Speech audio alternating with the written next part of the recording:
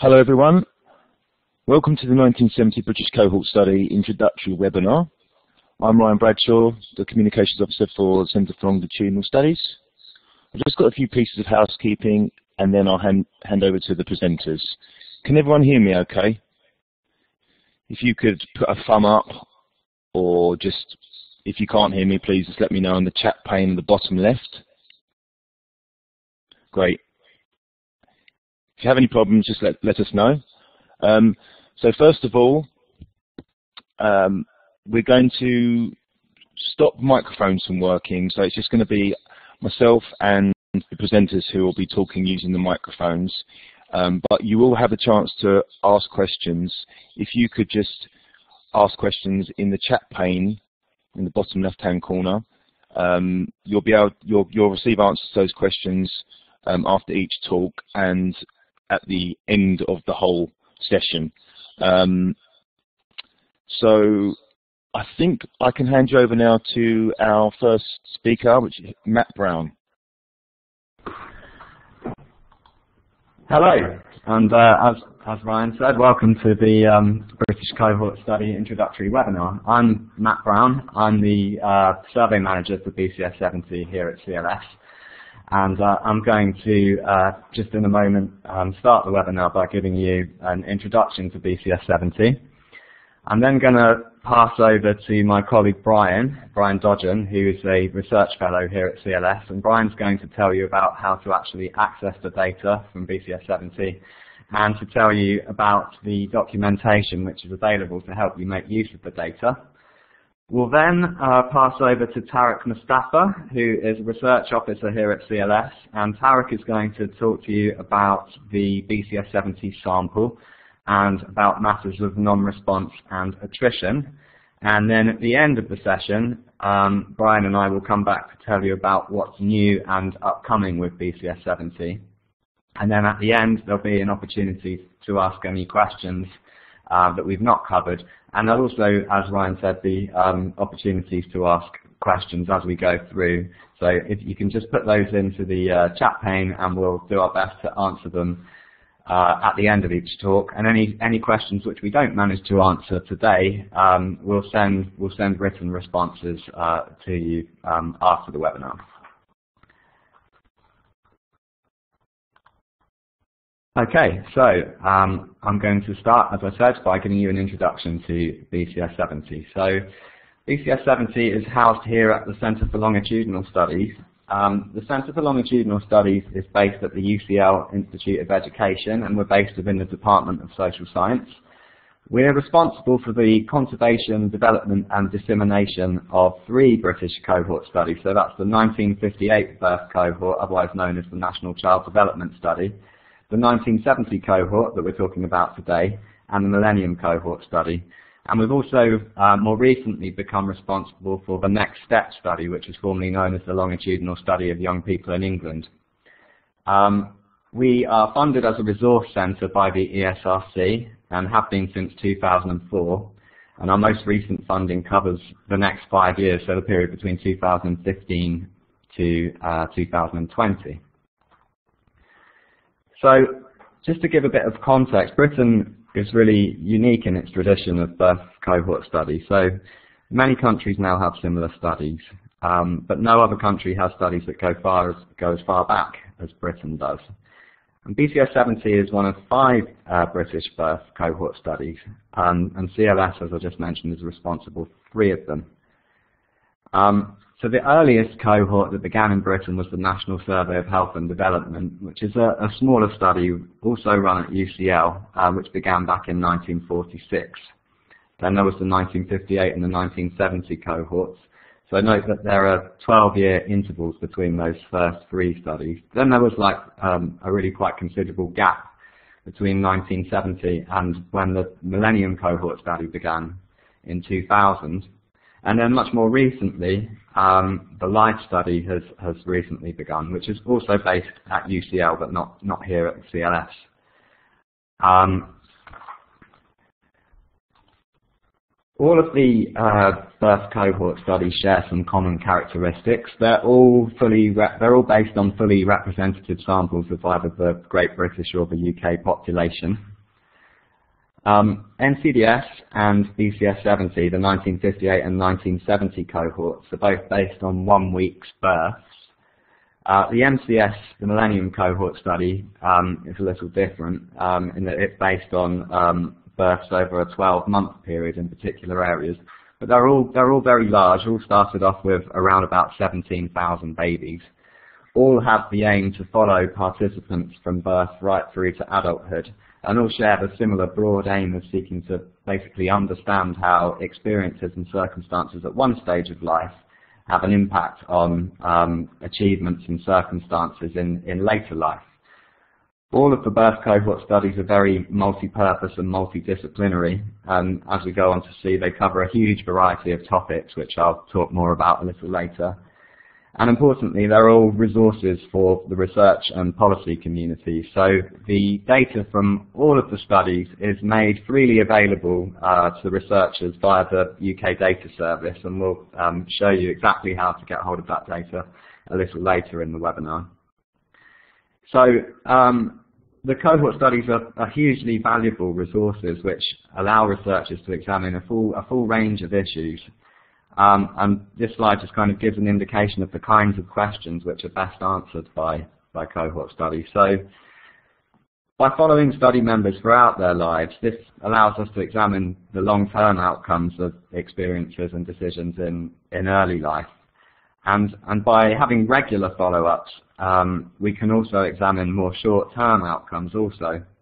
And the fact that the, the, surveys are so broad in their coverage means that it's possible for us to examine the links between uh, the different uh, domains of life. Um, many researchers use the, the life history information which we've collected over the course of these people's lives to examine how uh, trajectories across these various domains, so employment, family formation, housing, etc., are interwoven and inter interlinked and also the fact that information has been gathered from um, multiple generations. So um, most of the studies uh, contain information which has been collected from the parents of the cohort and then the cohort members themselves. And in some cases also the children of cohort members. And we've also got some information about uh, grandparents so that the studies can be used uh, to, they, can, they provide an opportunity to look at intergener intergenerational uh, transfers of advantage and disadvantage. And also then the fact that there are these multiple cohort studies following people of different ages means that um, they provide an opportunity to examine how circumstances have changed um, and how people's experience have changed um, as um, bet between different cohorts. So coming on to, to focus on BCS 70. Um, so BCS 70 began back in 1970 as the uh, British Birth Survey. So the initial focus of the study was to investigate uh, factors associated with mortality and well-being amongst uh, newborn babies and their mothers. Um, so data was collected about um, about around about 17,000 babies that were born in England, Wales, Scotland, and Northern Ireland in, in one week in 1970. So that information was collected generally by the midwives that um, that delivered delivered those those babies. Um, so information was collected from the mothers and also uh, information was extracted from medical records about things like the, the, birth weight of the child and any problems during uh, the pregnancy and with the delivery. And then the study subsequently um, became a, a, longitudinal study which has now tracked these individuals for the last 45 years. So the first follow-up took place in 1975 when children were age 5 and then in 1980 at age 10 and these early sweeps um, monitored educational, behavioural, emotional, social and physical development and, and sought to establish links between this and the conditions during pregnancy and birth, medical conditions and social conditions. Um, the next follow-up took place at 16 and then subsequently the cohort has been tracked um, as they've gone on, gone on to become adults um, and all aspects of their adult life have been um, um, have been the subject of inquiry, so forming their, forming their own families, uh, entering the world of employment and their subsequent employment trajectories, etc. And basically each stage of the study has sought to collect information which is relevant to the particular stage of the life course that they were at at that time, and then to examine links between the present situation and the pathways that people have trodden in the past. So the study has collected information from a wealth of different sources over time. Um, so as I mentioned, um, initially parents were key respondents, and that was in most cases was the mother. Um, so parents were the key respondents in, in, throughout the earlier sweeps, although cohort members themselves did begin answering some questions from the age of five onwards, um, and have subsequently been the, the key respondents throughout the, throughout the life of the study. At 10 and 16, we also collected information from schools, so teachers completed questionnaires about things like the behaviour of the child at school and their attitude towards learning. And the, the, child, the, um, the cohort members' examination results were also obtained from schools. Over the course of the study, cohort members have sat a wide variety of different kinds of tests. Um, so tests during childhood covered all different aspects of abilities, such as literacy, numeracy, reasoning, those kinds of things. At age 34, the cohort had some uh, basic skills tests to look at um, levels of adult literacy and numeracy. And at 42, the cohort sat a vocabulary assessment, which was um, a repeat of an assessment which was administered at 16. And the forthcoming age 46 survey, which will commence next year, will also feature some cognitive assessments, which I'll, I'll say a little more about later. Uh, lots of medical information has also been collected. So throughout the childhood sweeps, there were a, a series of medical examinations um, where objective measurements of height and weight, hearing, vision, and various other um, biomeasures were uh, collected. Uh, since then, there have not been any uh, adult um, biomedical measures, um, but there will be a very uh, comprehensive set of measures included in the forthcoming Age 46 survey, um, which again I'll say a little more about uh, shortly. And then finally, um, at age 34, information was also collected from um, any children that the cohort members had had, or for, for half the sample actually, and the children sat assessments which were similar to those that the cohort members themselves had sat when they were young uh, to allow us to look at how um, how um, ability was passed from one generation to the next. And then also at age 42, sorry, um, we also uh, collected um, consent um, to link the information and the responses which people have given to the to the surveys over the years to uh, health records and economic records held by uh, government departments. So this slide shows the numbers that have participated in each sweep. Um, and so as you can see, we started off with just under 17,000 participants in the birth survey. And this has dropped off over time, um, and Tarek's going to talk a little bit more about that um, in, his, in his talk. Um, most of the surveys have involved face-to-face -face visits, um, but there have been some exceptions to that. So the, the age 26 survey, uh, which happened in, in 1996, was a postal survey, and you can see that the numbers of people participating in that particular sweep uh, was, a, was a bit lower um, than had typically been the case previously. And the age 38 survey uh, took place via telephone. Um, you can see that in recent years the amount of drop-off has, has reduced and um, we were very pleased that at age 42 we actually interviewed more participants than we had at either 34 or uh, at 38.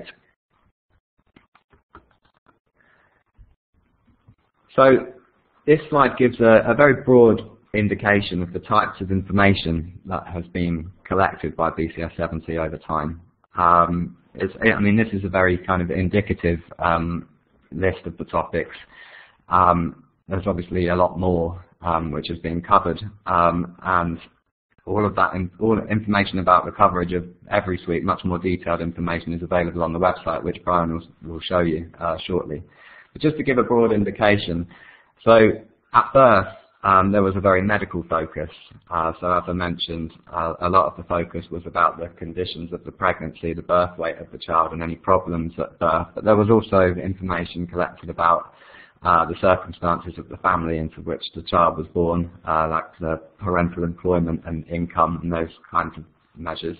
But then over time, the scope of coverage has, has really broadened considerably. So uh, during the school years, information was again collected about uh, family circumstances, employment, financial circumstances, the housing situation, um, the child's health and also the parent's health, uh, the child's behaviour at school, also questions about the child's expectations about how their life uh, would pan out.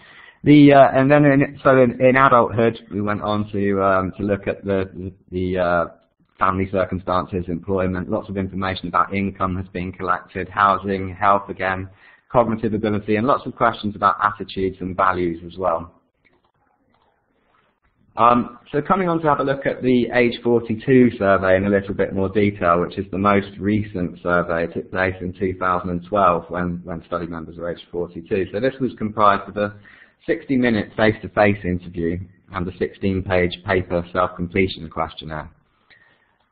Um, looking at the topics that were covered in a bit more detail. So much of the information collected was kind of uh, core content, which has been which has been featured in all or at least most of the adult suites of BCS 70.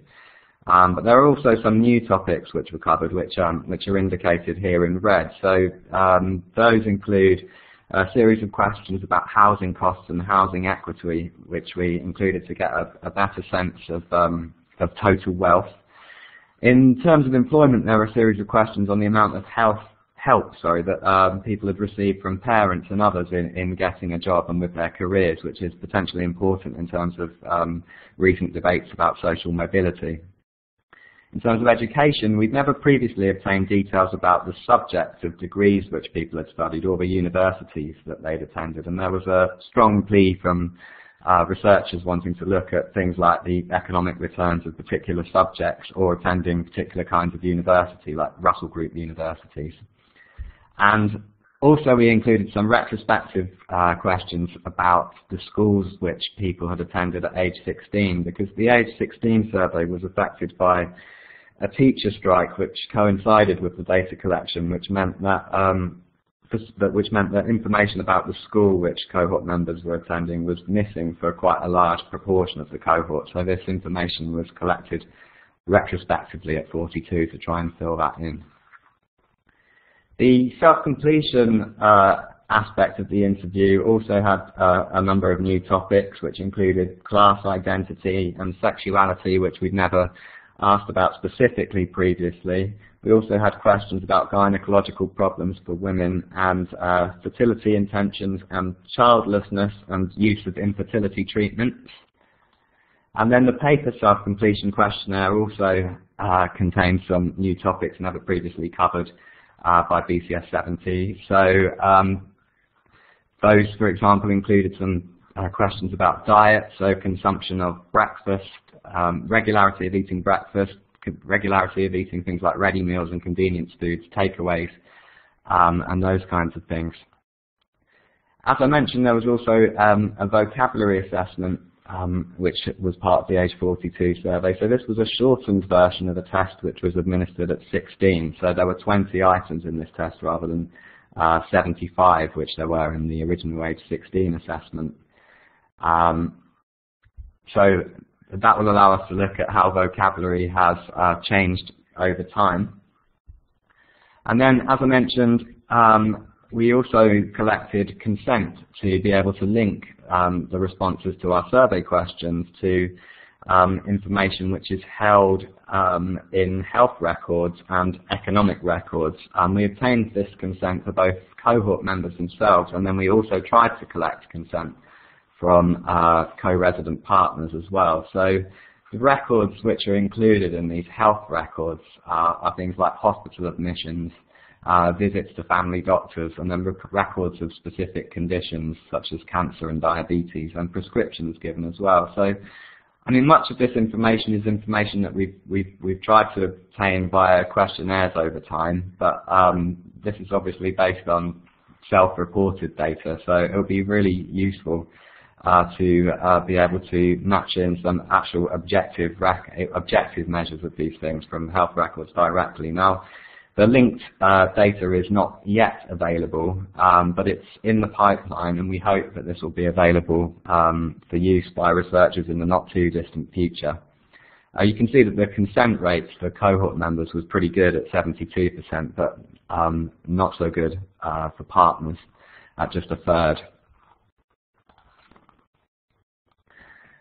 And then similarly, um, consent was obtained to um, link uh, survey responses with economic records. So that would include information from the D, held by the DWP about benefits received in employment programs and information held by the HMRC um, on earnings, uh, national insurance contributions and um, tax credits.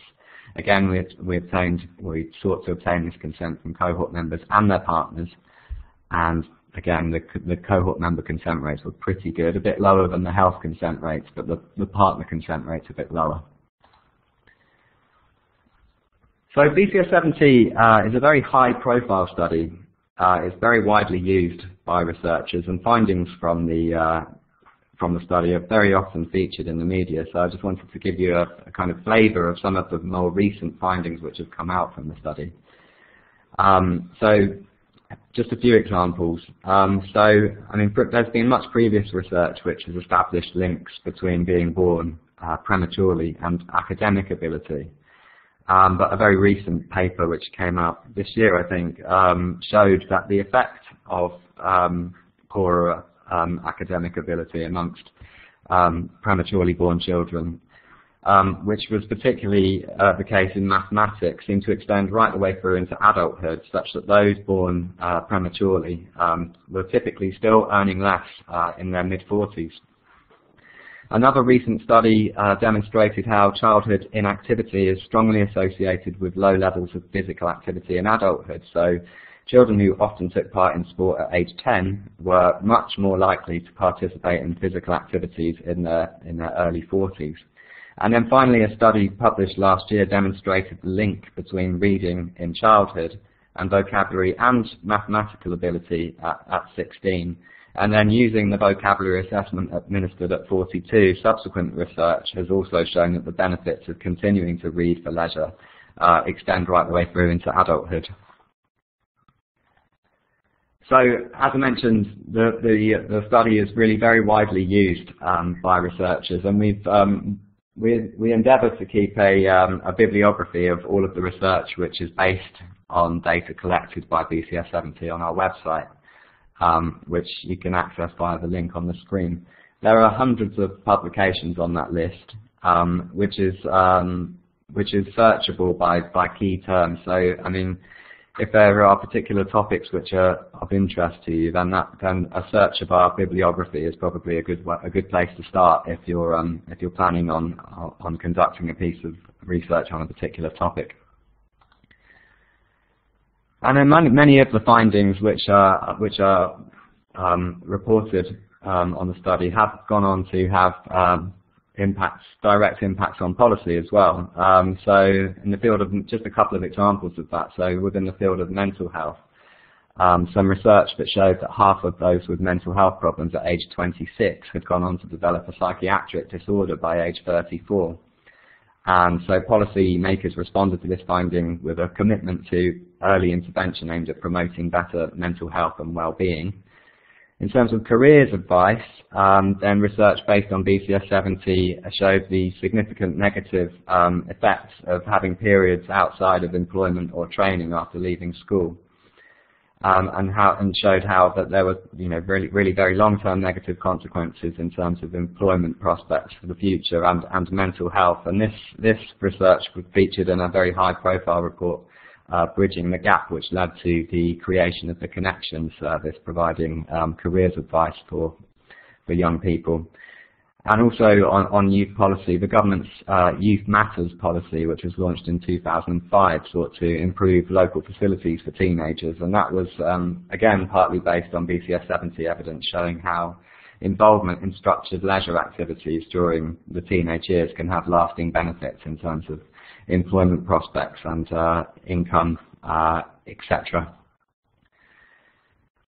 Um, so that's been a kind of whistle-stop intro to BCS 70. There is a lot more information available on the uh, CLS website. There's the, the web address there. Um, I don't know if anyone has any uh, questions that they would like to ask at this point. If so, uh, feel free to use the chat room.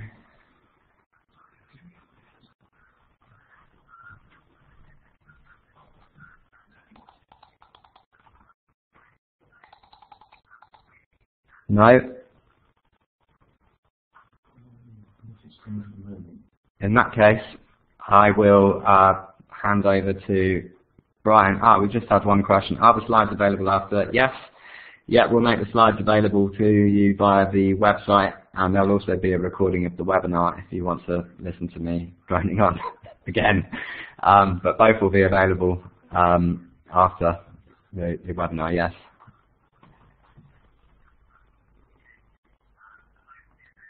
Okay, I will hand over to Brian. Um, there's many more opportunities to ask questions, so if anything comes to mind, uh, feel free to add your questions to the chat room and we'll uh, do our best to answer them. Thank you very much, Matt.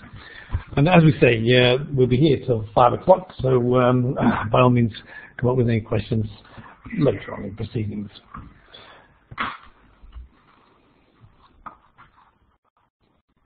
I'm going to go on to the next uh, slide, which is uh, about accessing BCS 70 from the UK Data Service. And this picture here in the bottom left-hand corner is the website of the UK Data Service, which is, we'll, we'll be going to the website in a couple of minutes. The UK Data Service is a wonderful repository of data funded by the ESRC to support the research uh, the work of researchers worldwide, and it's a single point of access to a big range of surveys, including large-scale government surveys, international data, and um, longitudinal data sets that we administer and we, deposit with the UK Data Service. And uh, so how do you actually get the data from the UK Data Service? You first of all register with the UK Data Service at that address http ukdataservice.ac.uk and you give details of what you're going to use the data for. So they, they want to know that you're a serious researcher who's going to um, put the data to good use. You're not just uh, uh, idly wanting to look at what people born in 1970 are up to. Uh, and there's two types of access. The normal end user access is, is, applies to almost all the data you get on BCS 70. Um, for that, you have to uh, sign a um, uh, undertaking that you aren't going to try to identify any individuals. Of course, the data are anonymized anyway. They don't have anybody's names and addresses or workplace names and addresses, but you mustn't try to uh, uh cross-tabulate a large number of variables that would leave you with only one person in each box or something like that. Um, the special license is only for sensitive disclosive data, such as county of residence, which sometimes gets down to quite small numbers. So uh, we're, uh, we treat confidentiality of the data very seriously, and we uh, are, are, careful about disclosing uh, small area uh, data like that. And the data for each sweep are downloadable separately. So there's so far been, as uh, Matt was saying, there's been nine sweeps so far at ages 0, 5, 10, up to 42. And you download them as separate files, and then you can uh, either put them all together into one longitudinal, very large data set, or you can just, for instance, have a project where you just get the age 10 data set and see what what's happening for a child when they're age 10, see how that predicts what their life is like by the time they're age 42. Uh, and there's a choice of formats for download. Um, you can either use SPSS format or Stata format or tab delimited format. And if we go and see what the files look like, um, most for the most of those nine sweeps, it's just a flat file where the bulk of the data is one record per case, and there's usually a separate uh, file with derived variables. And of course, um, there's plenty of derived variables with each sweep because when we interview people, we don't say to them, what's your social class uh, or your socioeconomic group. Uh, we just ask them what they do for a living, and then um, social class or socioeconomic group would be a derived variable. Um, for some sweeps, particularly some of the more recent sweeps, like the age 42 sweep, um, they may have extra files because we have done special exercises to go through various histories, like the relationship history, housing history, uh, employment history, qualifications. And we, as, as Matt was saying earlier, we've sometimes asked people to catch up on or to refresh our memory where we didn't know what it was originally about things like uh, the schools they went to and so on. So um, you may find, especially with the age 42 survey, that there's about eight files, including all these separate bits of information. Uh, finally, one thing that people find a little bit uh, confusing in the nomenclature is the unfolding brackets file, and that's where uh, if, if, we ask people what their income is and they're, they're unable or unwilling to provide a precise amount, we sometimes ask a series of questions which defines a band in which, into which the answer uh, lies. Now, uh, I'm just going to go to a separate screen here.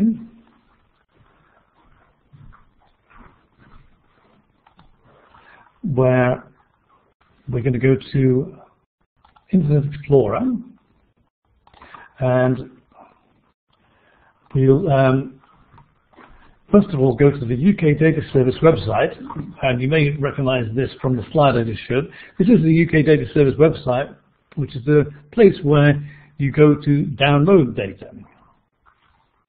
And uh, the key uh, the key data key is just here if you press key data, then uh, you get the screen which has UK surveys, cross-national surveys, longitudinal studies, and that's what we want. We're a longitudinal study. So if you click that button, you'll see here, I'm going to scroll down a little bit, rather slowly, because I think on your screen it takes a while for scrolling down to take effect.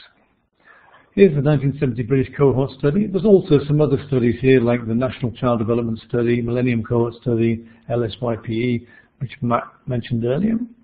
If we click National 1970 British Cohort Study, then this is the operative bit we go to next. You either go to the normal British Cohort Study datasets or the special license access datasets. Now the special license one, there's only one, which is the county data. Uh, so if we went in there, then we'd need to sign a special license to get that. But for the, the other studies, the other sweeps, there's all these data sets, um, uh, starting in 1970 to 72 and going right up to 2012. Uh, there's also some sub-studies in there as well, but, but, but, there are nine full surveys of everybody who's in, in the study. So supposing we wanted to download the 29-year uh, follow-up, we click on that, and um, we get to 29-year follow-up, which was 1999-2000, uh, and it tells us um, some general details about the uh, study, some subject categories, and downloading slow, sorry, da scrolling down slowly, there's an abstract there explaining a bit about uh, the planning of the study and what it involved. But scrolling back up again, we can uh, download or order the data by clicking here. And um, uh, I'm not going to log into the UK data service right now to do this, but uh, uh, the uh, uh, you need to log in with your own user ID to start with. And it's easy enough to get a user ID for the UK data service because you just simply write to them and tell them, tell them what your research is about, and then one or two days later you, you're given a user ID and password. And the, to download the the uh, data, you uh, put in your user ID and password, log in officially uh, as an individual member of the UK data service, and then you can download it uh, to your computer. Uh, but what you'll find when you download the data is that you have to sign a undertaking, uh, on, an online undertaking to say that you won't try and uh, identify any individuals. Okay, uh, I now start dealing with uh, the um, slides for documentation.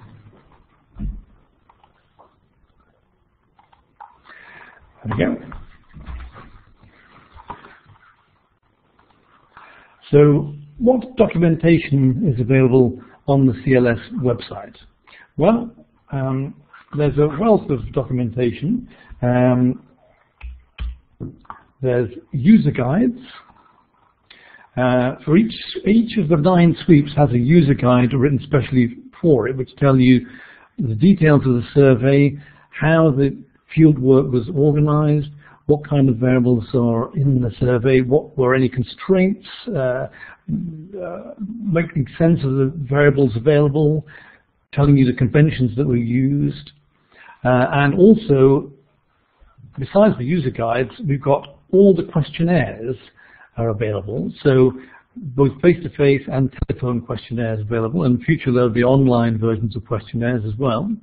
And the good thing about the questionnaires, especially for the older surveys, the ones which were uh, on paper rather than uh, computer-assisted interviews, the names of each variable are written next to the question. Uh, so you can see in what context the question was asked, because you'll find sometimes that certain questions were only asked contingent on the reply on the response to a previous question. So they're routed depending on what happens in the previous question.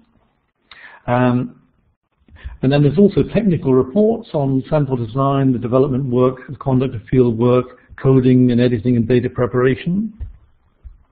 And um, besides uh, documentation available on the CLS website, which we'll go to in a minute, you can also explore the variables at the UK Data Service, um, which is the website we were looking at previously, and we'll look at it again soon. Uh, now let's go back to the sharing of the screen. And this time we'll first go to the Center for Longitudinal Studies website. So this is our own website here at the UCL Center for Longitudinal Studies. And um, here's where it says 1970 British Cohort Study.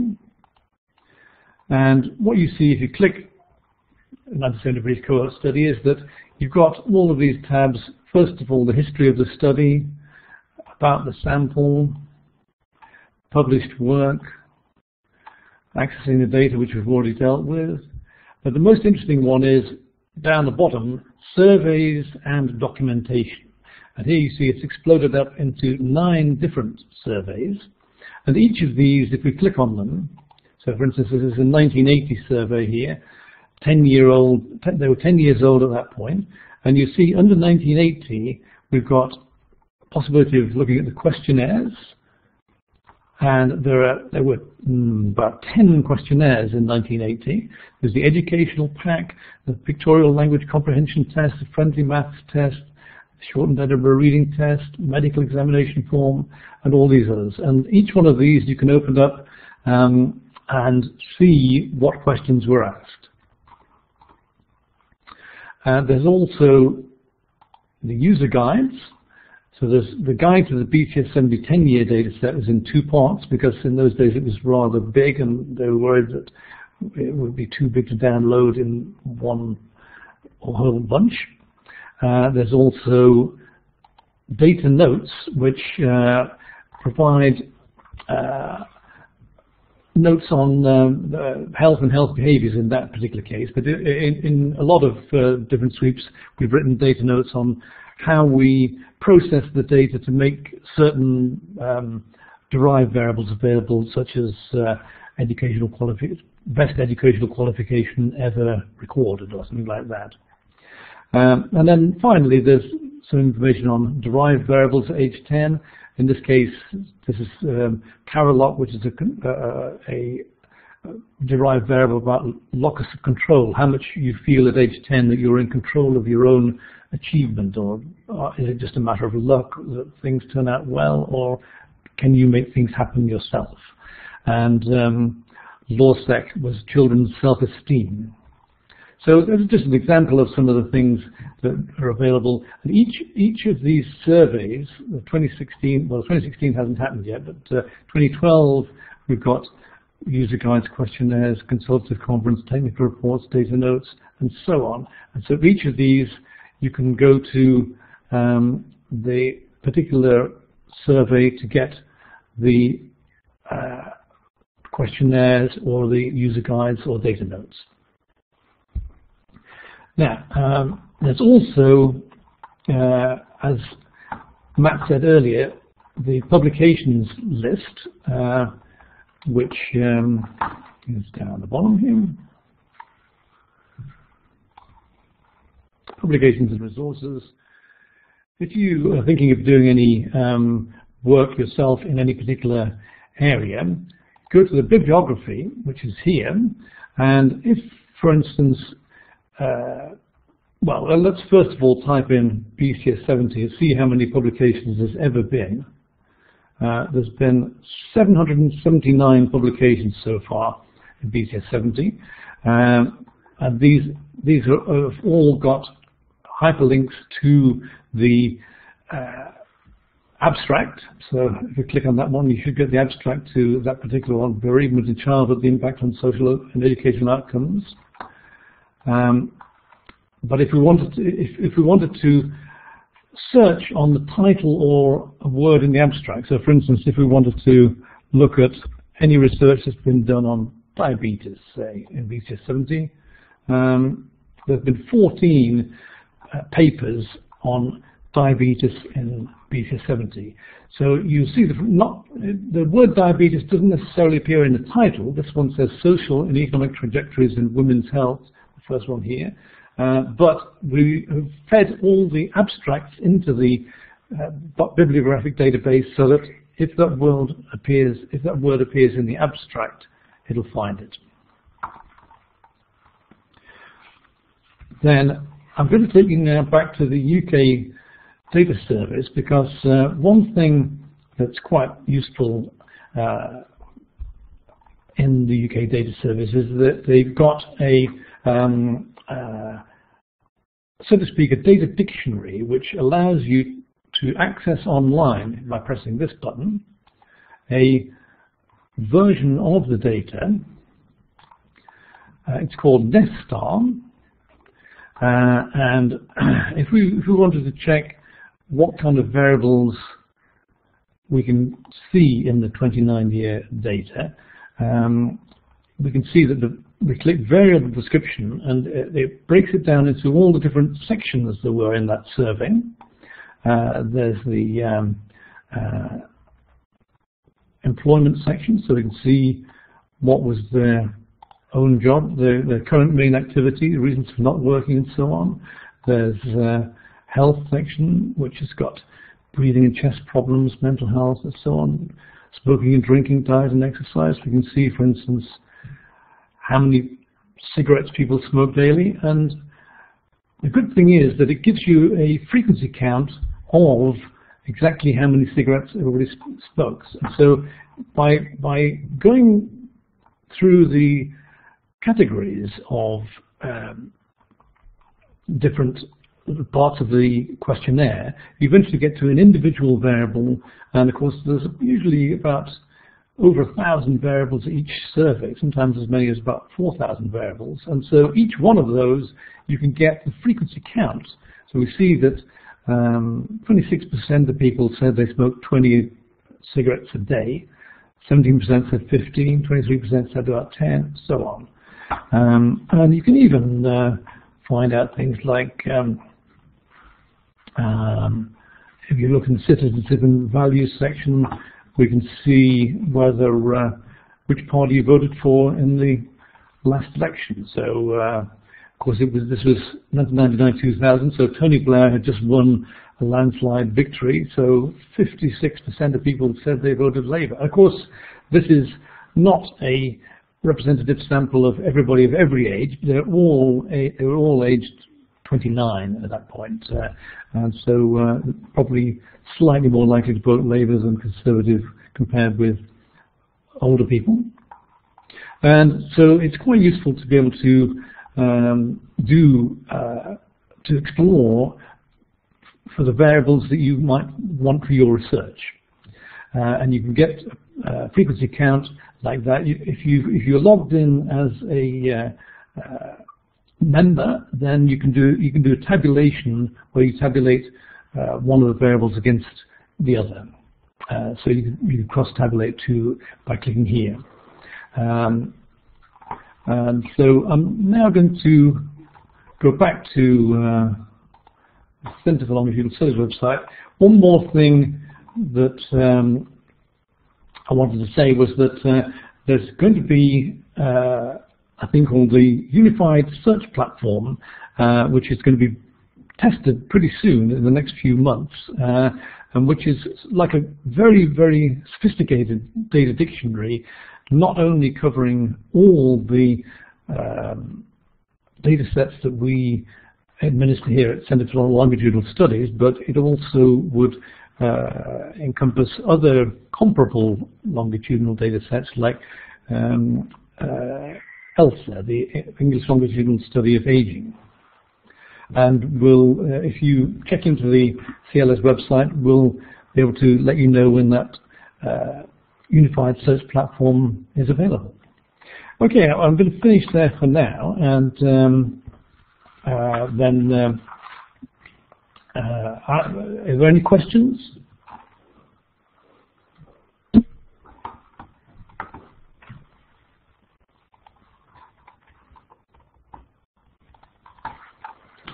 Um, uh, the one question here uh, uh, is from Bozena, who says, the most recent county data on specialized access is from 2000. Do you plan to update this file by more recent geographical information? I don't think we've got any plans at the moment to update that. Um, uh, if we publish using BCS or NCDS data, do CLS automatically pick up our publications or do we need to notify you? Well, that's a good question because um, we do try and pick them up from Google Scholar by typing in BCS 70 or NCDS as a keyword, but that doesn't always pick up every publication. So we are very grateful if people do notify us. Uh, we're fairly confident that we've picked up you know, at least 90% of all the publications that people have, have come up with, but we always worry that we've missed out on some because these Google Scholar searches don't always get everything. Um, what is the email address for this? Uh, the email address is um, uh, feedback at cls.ac.uk. Sorry, the feedback at cls.ioe.ac.uk. You're welcome. uh, any more questions? Okay, in that case, I'm going to hand over to my colleague Tarek Mostafa, who's going to talk about uh, response and attrition.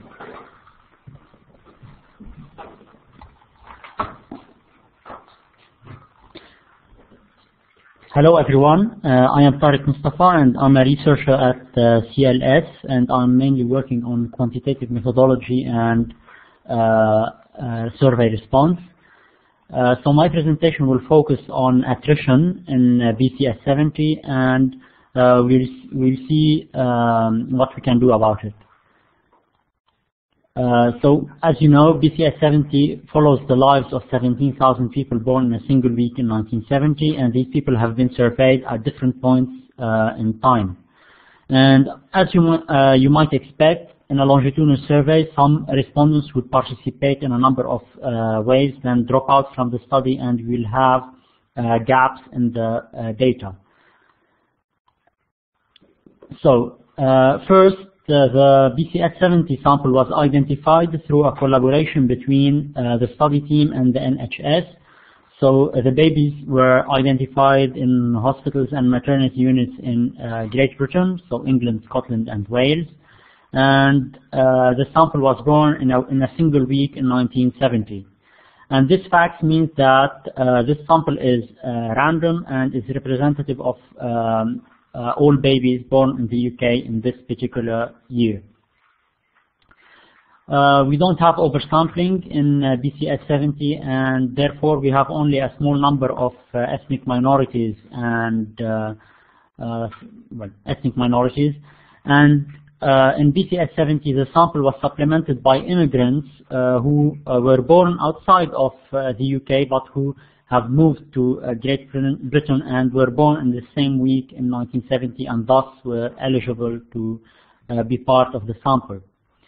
So far, uh, weights have not been constructed and provided as uh, part of the data sets we publish. However, these can be constructed by the researchers as uh, we will see. First, what is attrition? Uh, the definition is, attrition is the discontinued participation of some individuals in a longitudinal survey for reasons that are unknown or beyond the control of the researcher. Uh, we need to distinguish between two types of uh, response. First, we have unit non-response. This is the case where a respondent has been uh, selected to participate in the study but did not uh, take part in the survey. So we have completely missing record for this respondent. The other case is item non-response, and this is uh, the case where a respondent has participated in the survey but did not answer all questions. So we, we have uh, gaps in the information they have provided. Uh, for unit non-response, uh, we have multiple reasons. For instance, uh, it could be non-contact. This is the case where uh, the survey agency was unable to establish contact with the respondent because uh, the respondent is living in a gated community or has um, works in does night shifts or so on.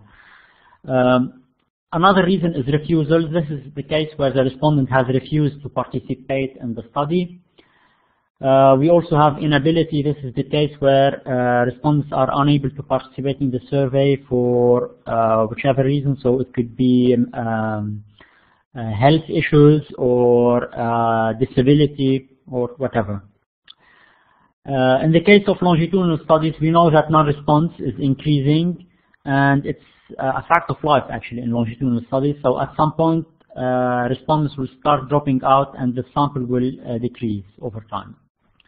However, non-response is not always permanent, which means that some respondents would drop out from the study, uh, would participate in the study, drop out, and then participate again. So they have interrupted response patterns. So in this table, you can see uh, the number of respondents who have participated in BCS 70. So in sweep one here, uh, you have uh, 16,569 individuals, and you can see that the number is declining over time. Although at some points it has uh, increased. So between sweep two and uh, three, between uh, sweeps five and six, and between sweeps eight and nine. You can also see the breakdown of non-response. Uh, so you can see that a number of respondents have died. The, the largest increase was in wave um, 2. So this is basically uh, infant mortality. Uh, you can see that some respondents are permanent immigrants, so they have left the country and not and did not uh, take part in any further surveys. And of course, we do we do not follow uh, respondents uh, abroad. We have temporary immigrants, so these are respondents who have left the country and then came uh, back. And of course we have refusals, so these are respondents who have uh, refused to participate in the study, but fortunately in some cases we have managed to uh, revert this um, uh, the refusal. Um, so this is what happens to the BCS 70 sample. So it started at 96%, so this is in the first sweep, and the number started declining. However, this decline was not always permanent. So between sweep 2 and 3, it has increased again, sweep 5 and 6, and sweep 8 and uh, 9. Uh, so in sweep 9, we have 54% of uh, the entire sample which have uh, participated in the survey. And it's also worth noting that the largest decline was in between sweep 4 and 5, So in sweep 4, the respondents were age 16, and in sweep 5, they were, they were uh, 26. So the gap between the two sweeps is 10 years, so it's relatively long. Uh, in sweep 4, it was a face-to-face -face survey. In sweep 5, it was a postal survey, which is usually less reliable than face-to-face. -face. Um, and of course, we had a change in the responsibility of responding to the survey. So in sweep 4, it was the parent deciding on behalf of the uh, cohort members who were 16, but in sweep 5, the cohort members were 26 and uh, had to decide for themselves whether to participate or not in the survey. Uh, in these two tables, you can see uh, the possible patterns of response that we might have. So uh, we have three distinct patterns. So participated in all sweeps. This is this is the number of uh, respondents who have uh, participated in every single wave of data collection and they represent 20% of the data. Uh, while a monotone response is the case of respondents who have participated in a number of uh, waves and then dropped out without ever coming back. And non-monotone response is the uh, case of respondents who have participated in a number of sweeps and dropped then dropped out and then came back again and uh, rejoined the study. So here actually is an example of the, uh, the patterns you might find in BCS 70. Uh, so the first one is the case where a respondent has participated in all surveys. So one stands for participation and zero is for non-response. Uh, in this case, you can see a respondent who has participated in four sweeps, dropped out in the fifth, and then participated in the remaining four. So, the impact of attrition. Basically, attrition affects a survey in uh, a longitudinal survey in two different ways. So first, it might uh, cause uh, bias in sample composition because we are likely to lose individuals from particular uh, socio-demographic groups such as um, men, uh, those from socially disadvantaged groups, uh, those from ethnic mi minorities, uh, those who are mobile and more, li more likely to change uh, uh, homes, um, those who work for long working hours and are hard to reach, and so on. attrition also leads to a decline in sample size and to fewer transitions and incomplete histories in the case of longitudinal studies and to reduce statistical uh, power. So ways to detect attrition in uh, a longitudinal survey. So you can do basically two uh, types of uh, analysis. First, you can compare the characteristics of your sample in any sweep to the sample to the same characteristics at birth, because the sample at birth was uh, complete, almost complete. So you can see how these characteristics evolve. So you can see whether the percentage of men is declining or uh, disadvantaged groups or on, I mean, based on whichever variable of you are interested in. And of course, you can use binary regression models like Logit or Probit models where the outcome variable is, um, or the dependent variable is response to the survey. It takes the value of 1 if the, um, uh, if the respondent participated and zero otherwise. And the independent variables could be any of the characteristics of the respondents. And if these characteristics are highly correlated with the likelihood of responding to the survey, then in this case you can conclude that uh, attrition is, um, is leading to uh, sample bias. So what happens to uh, the BCS70 sample over time? So here you can see um, a graph of the sample evolution based on a number of characteristics. So you can see that the number of uh, respondents born to single mothers in 1970 is declining. Uh, the number of respondents born to mothers who are living in London at birth is also declining, and the number of respondents born in, in larger families is, uh, has also declined. Uh, we also can see that the number of men has declined over time, uh, mainly to uh, non-response and also to uh, death because men are likely to um, are more likely to die actually at different at especially at birth and at age around age 18. Um, the number of uh, uh, respondents who were born to uh, mothers with low levels of education has declined and the number of respondents born to fathers uh, with uh, from lower social class is, has also declined. So in general, you can see that uh, the sample is losing socially disadvantaged group, and this, of course, would lead to bias in sample composition. So how to deal uh, with attrition? There are three ways of uh, dealing uh, with attrition. use of attrition weights, use of multiple imputation techniques, and use of full information maximum likelihood techniques. So far, we have not produced um, any attrition weights uh, in BCS 70s. However, these can be constructed uh, by the researcher and can be adapted to the uh, research question they are uh, trying to answer. So uh, these models are based on logistic regressions where the outcome variable is response to the survey. It takes the value of 1 if the respondent participated in the study and 0 otherwise. And the independent variables could include a variety of respondent uh, characteristics. Uh, usually we choose characteristics at, at birth because uh, they are non-missing and available for almost all respondents. Uh, the non-response weights or the attrition weights in, are equal to the inverse of the probability of responding uh, to the survey. So after compute, after estimating these uh, logistic regressions, you would compute uh, the probability of responding to the survey and the weight would be the inverse, so 1 divided by uh, this probability. So this is basically it. Here you have a number of references which might help you when uh, working with uh, BCS 70 data. And uh, I am happy to answer any any questions. So thank you.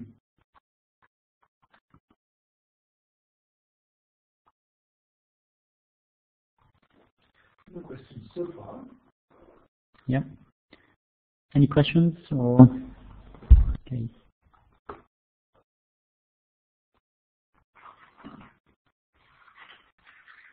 Okay, thank you.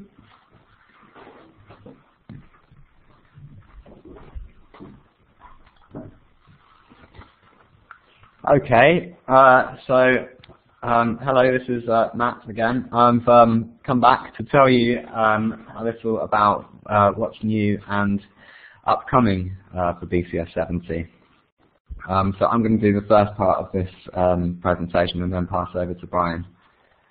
Um, so, uh, what are our future plans? Well, the, um, the current plan is that future sweeps of the study will take place at four-year intervals.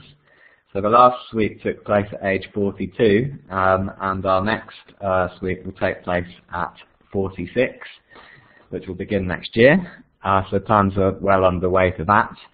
And um, and then the sweep after that will take place in 2020 when the cohort members will be aged 50.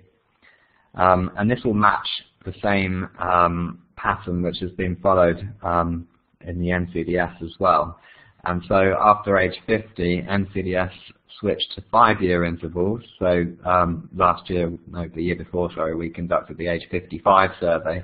We'll, on BCS 70, also be switching to five-year intervals so that we can match NCDS and maximize the potential for cross-cohort comparisons.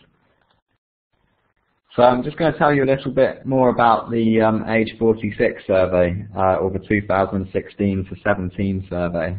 Um, so this survey will be a bit different to um, most of the adult surveys um, which have taken place so far in that it will have a, a particular focus on health.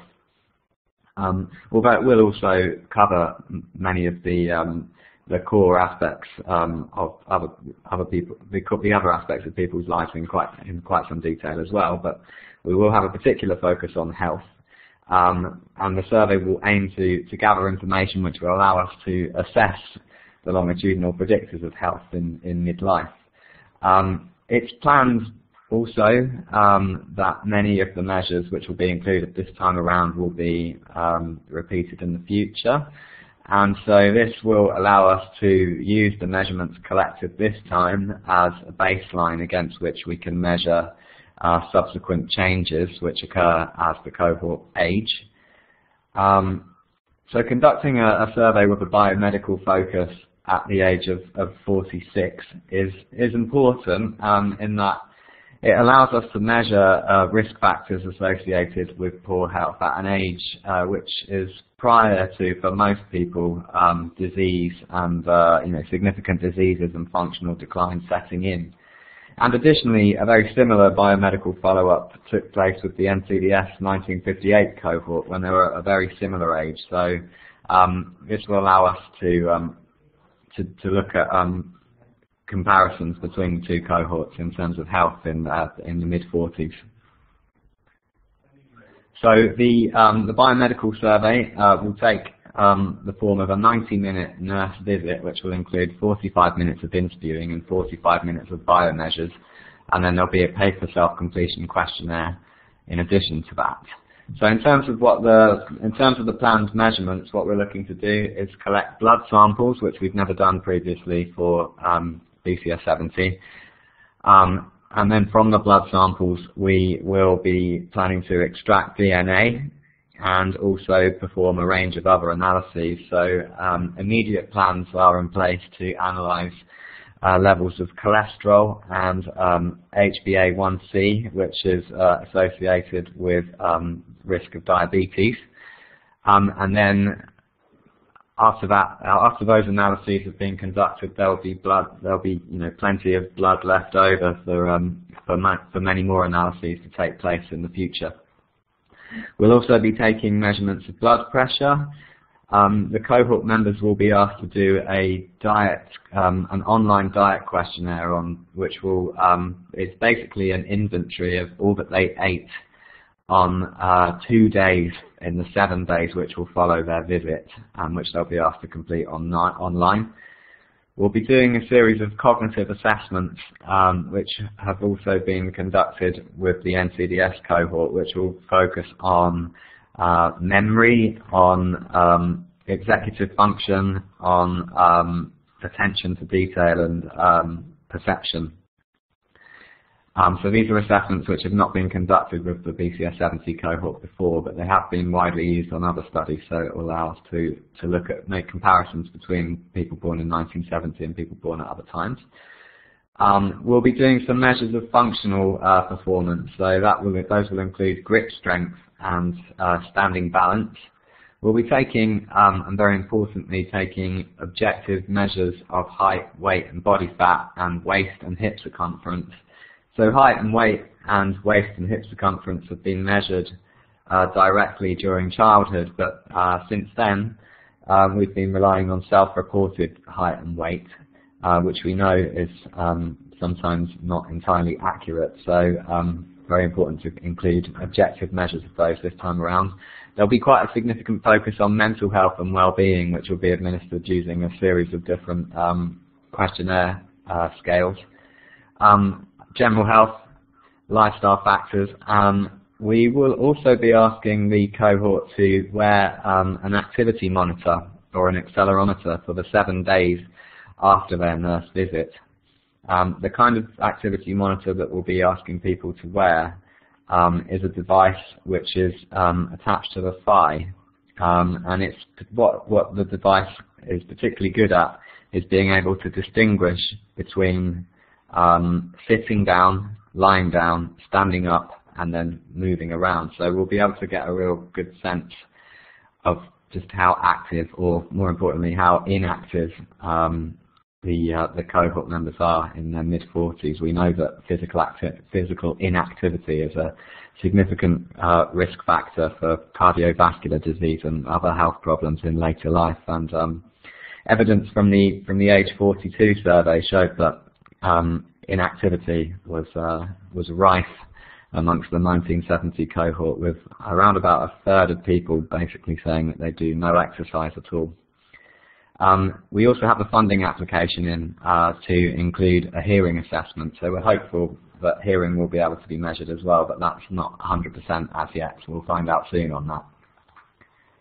In terms of the timetable for the um, age 46 or 2016 survey. So we have a pre-pilot currently in the field, which is measured, which is focused primarily on the activity monitoring that I was talking about before, because that's a very new um, element of data collection, which we've not done on BCS70 before, and this particular device hasn't been used on any of the other cohorts here either, so we're we're looking at the, uh, the feasibility of including that at the moment and how we can maximize compliance rates, etc. Then there'll be a full dress rehearsal in January and February next year with a subsample of the cohort where all of the measures will be uh, tested and the questionnaires too. And then the main stage of data collection is due to commence in July 2016. And because we're going to be using nurses this time, um, of which there aren't so many as there are standard interviewers, it's going to be quite a long fieldwork period. So um, fieldwork's going to run until, until the end of December 2017, meaning the data will be available um, for researchers hopefully uh, around late 2018. Okay, I'm going to pass back to Brian now, um, who's going to tell you about some new uh, developments in terms of the data which is available.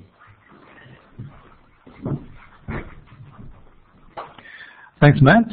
Uh, one thing, uh, of course, about the biomedical survey is that uh, it will be, when we were looking earlier about which are the special license access data sets, that will probably be, or certainly part of it will be special license access, I think.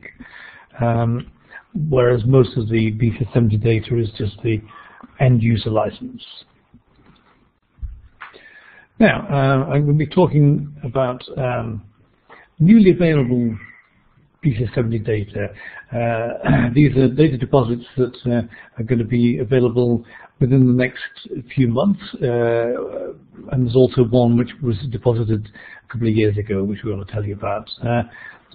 First one is the uh, four different types of age 16 data.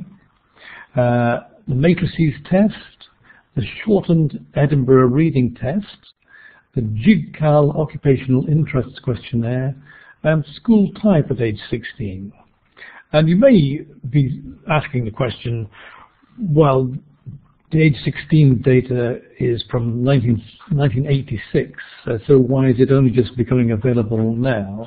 The reason for this is that in the 20th century, or before the 1999-2000 survey, all the questionnaires were paper questionnaires, were filled out on paper and had to be transcribed. And um, we at the Centre for Longitudinal Studies inherited all the data for BCS 70 from the Institute of, so the International Child uh, Center, the International Centre for Child Studies in Bristol, uh, which was uh, run at the time by Professor Neville Butler, who initiated this survey in 1970. And um, uh, strangely enough, uh, we, we haven't had time, we haven't had the money uh, to uh, do the keying in of a certain amount of the paper questionnaires that we uh, inherited from the ICCS back then, and money has only just become available to key these in collate them and make sense of the data and document it properly. So I'm going to deal with these one by one. The first one is the matrices test, which looks a bit like this. Uh, people aged 16 were asked to look at this pattern of matrices and say which of these five uh, items on the right belong in this blank box and similarly which of these five items on the right belong in this blank box. It gets more complicated than that. It looks fairly easy to start with, but that's just the first two. Uh, and it, that, that was invented by the British Ability Scales organization.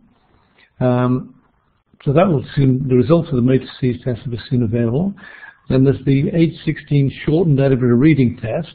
You may remember from what I was showing before, age 10, that there was a an ERT, Edinburgh Reading Test at age 10. There's also one at age 16 which was uh, more complicated and that consists of um, uh, five sections. One is skimming a certain amount of text and then being tested on how much you understood of it. The second is vocabulary, uh, certain words, just uh, giving you a list of words which may possibly mean the same as one word, and you have to bring which is the, the one that means more or less the same. Then section C is a basic comprehension where you're given a story and ask questions afterwards about how much you can remember of that story. Section D is points of view where you're given five different points of view from different sort of people and you're then asked which of those five people would be likely to say this. And finally, there's a section E comprehension, uh, which is uh, a bit like section C, only more complicated, a more, a more complicated story. And the, there were 3,227 teenagers who completed the test. It's slightly low, it's slightly disappointing response because, uh, uh, as Matt was saying earlier, there was teachers' industrial action in 1986 against the government's proposed education reforms. So that's why there was a small response to that. Um, but the next piece of um, age 16 data that's going to be available soon is the age 16 JIGCAL Occupational Interest Questionnaire. And JIGCAL stands for Job Ideas and Information Generator Computer Assisted Learning. And the 16-year-old was asked to make 60 different preference choices between pairs of occupational activities, like this, which, would, which of these two would you prefer to do? Dismantle and repair cameras or identify chemicals in samples of soil?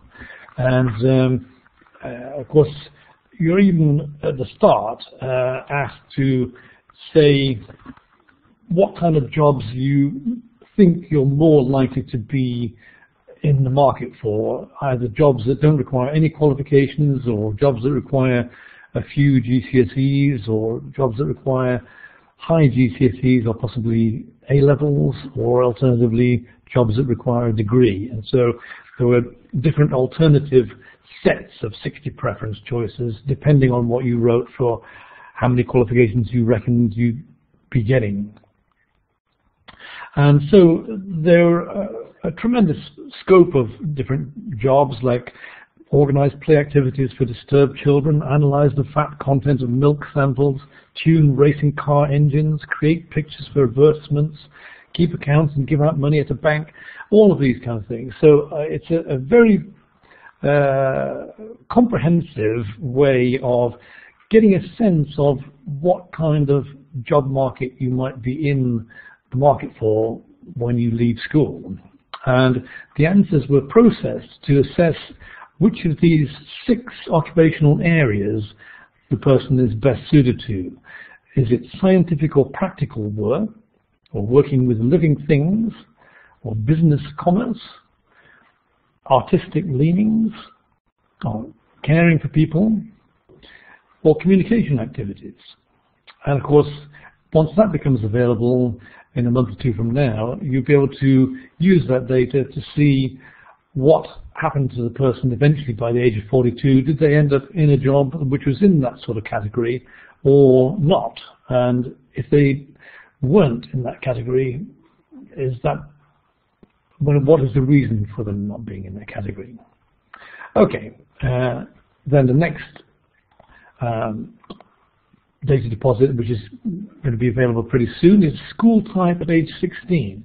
Matt has already talked quite a bit about this. Uh, because of the teachers' industrial action, um, we sent out, a, although we sent out a head teacher questionnaire, it wasn't returned for 60% of cases. And so we only found out for 40% of cases back in 1986 which school, what type of school they were at.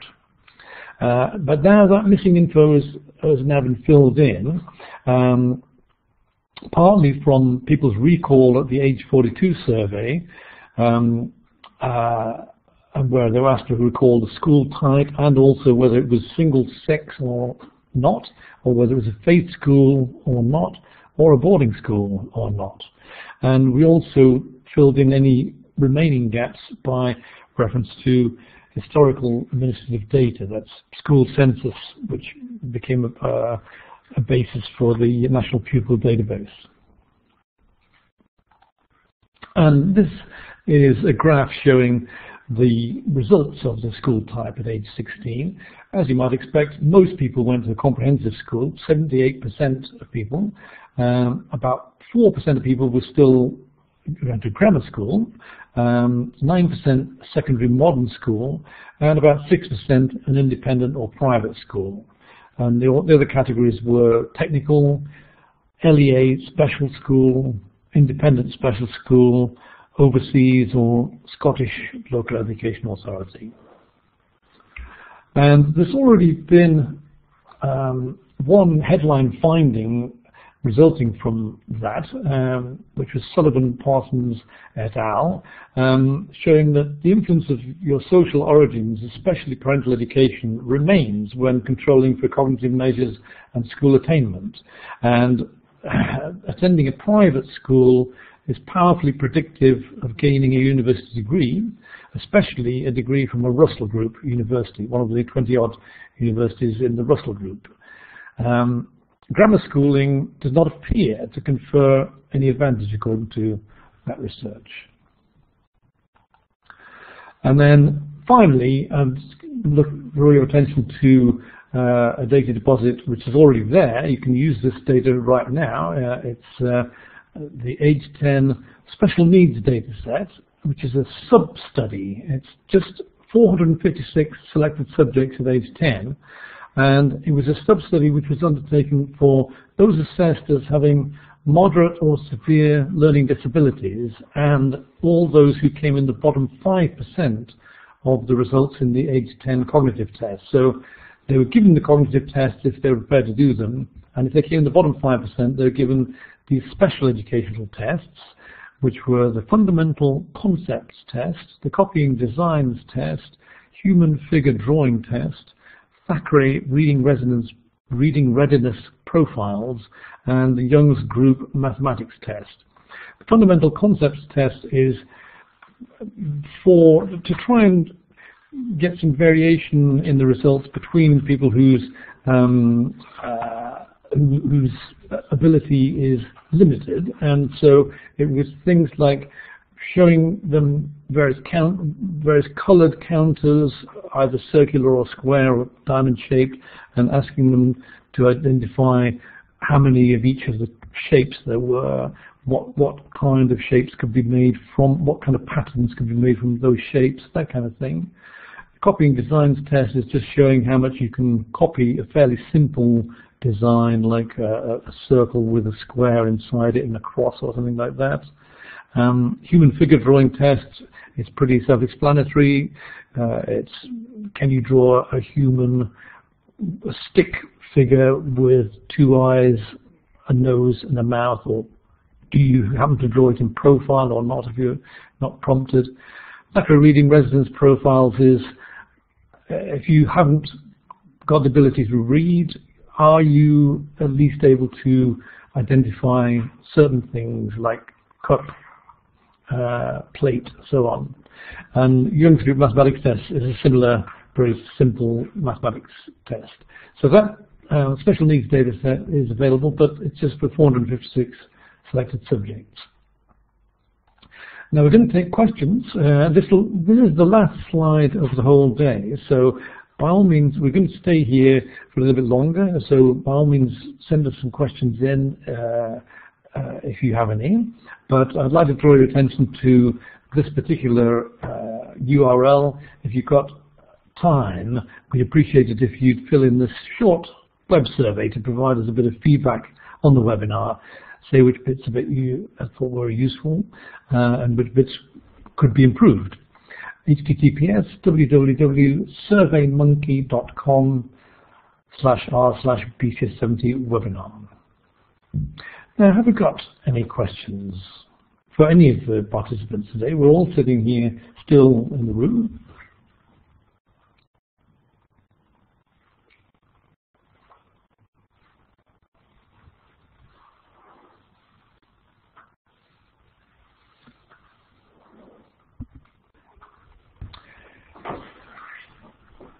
looks like we'll be finishing earlier than scheduled. In theory, we can stay here till five. I've got some questions. Oh, good. Yeah. Oh, so, yeah. So the first question um, from ABC. Uh, what is the breakdown of respondents from the different UK nations? Are the sample sizes sufficient to do analyses for just one country, e.g. Scotland, or comparisons between countries? Um, Well, the, the, the, sample size is evenly spread throughout the, the whole uh, of uh, Great Britain, so uh, the, don't- there isn't any evidence that attrition is uh, appreciably higher in Scotland or Wales than it is in England. So you'd expect, given the population of Scotland is about 5 million. In the so in the most recent survey at age 42, um, it's it's the case that there are roughly, um, I think it's the case that there's roughly a thousand participants in Scotland, around about 500 participants in Wales, and then the remaining 8,000 or so um, were based in England. So the sample sizes are much smaller for Wales and Scotland, but based on the fact that there are much fewer people living in Wales and Scotland. So but those sample sizes mean that yes, is, the sample sizes are sufficient to do country level analyses. Once you start getting down to, you know, a more precise geographical um, analysis, then you kind of, you know, you might run into into issues with sample sizes. Question for Tarek. Which missing data is most advisable? FIML, MI, or IPW? Uh, so basically, um, uh, uh, attrition weights have been used traditionally to deal with with non-response in longitudinal surveys. However, you might want to investigate multiple imputations.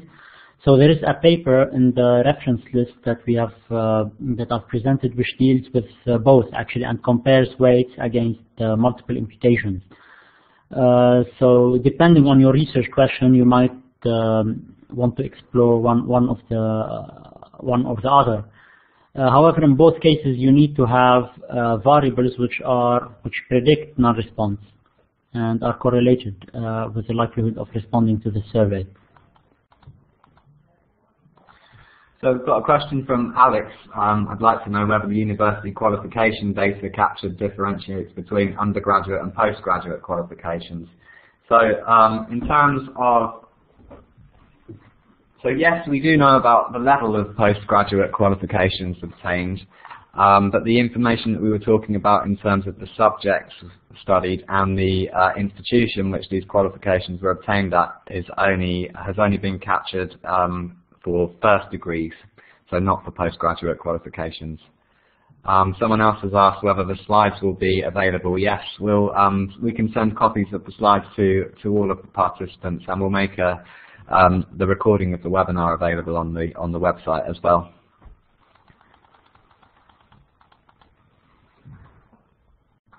Is it possible to link the data to the national census?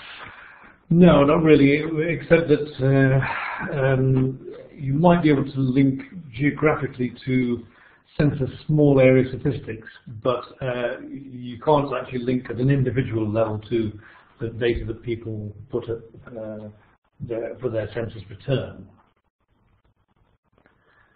Okay, are there any more questions? Yes, we've got one. Could it be linked to education data to find secondary degrees or other study? Um, But we do ask people if they've done another degree. We do ask people if they've done another degree after their first one. So uh, at each, I mean, you'd normally expect most people to have done their degrees in their in their early 20s, but we keep asking people at each survey, even at age 42, if they've done any more courses since they were last interviewed. And in the derived variables file at each survey, um, that's at age 42, 38, 34, 30, and so on, uh, in the derived variables file, which accompanies the flat file, you will see a running uh, derived variable showing what, how many uh, qualifications you've got by this time in your life. but in terms of actually linking with education data, no, we haven't. We haven't as yet collected consents from cohort members to link to education data. When will the unified search platform be released? It's going to be beta tested, I understand, in uh, between now and Christmas, or that's the plan, but I'm not sure.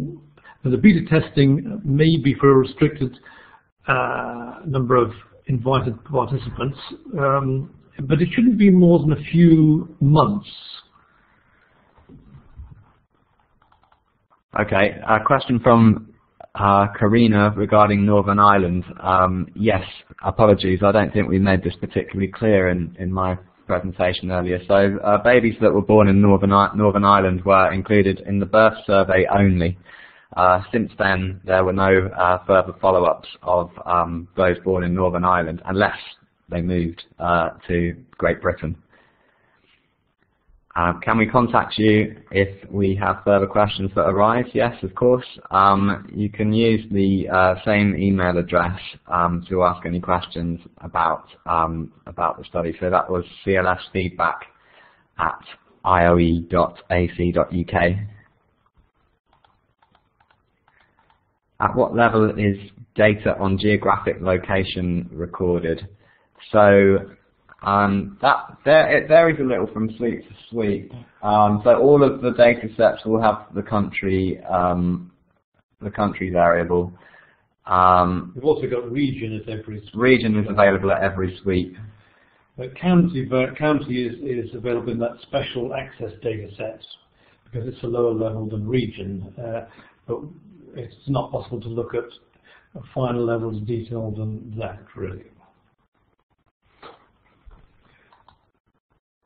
Okay, I think we've answered all of the questions which have come through so far. Um, I can find the link for the NCDS webinar on the CLS website, but not the slides. Uh, yet we, we haven't yet put up the slides. We will do, and we will send everyone who has registered an email um, letting you know where the, where the slides are. We've got one question here saying, do you have any courses on linking the BCS70 to other data sets? Now, of course, linking, because it's different individuals, the BCS70 data can't actually be linked on an individual record basis to NCDS data.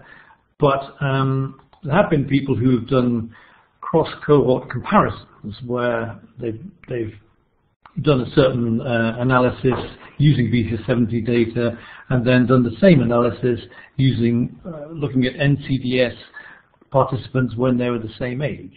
Yeah, many people do that by creating one data set um, and then having a, you know, using, having, creating a, a dummy variable identifying whether that, um, whether an individual is a member of BCS70 or NCDS. Um,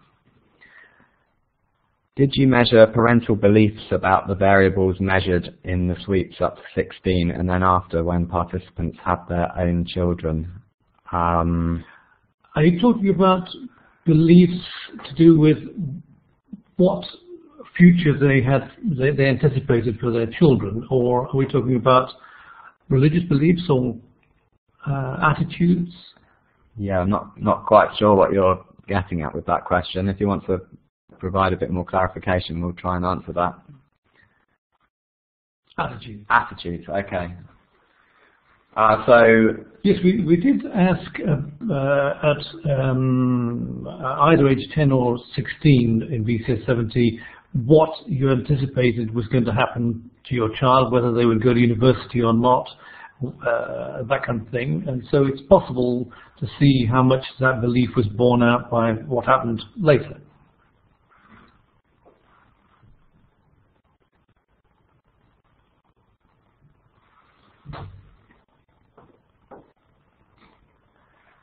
Okay, are there any last questions before we wrap up?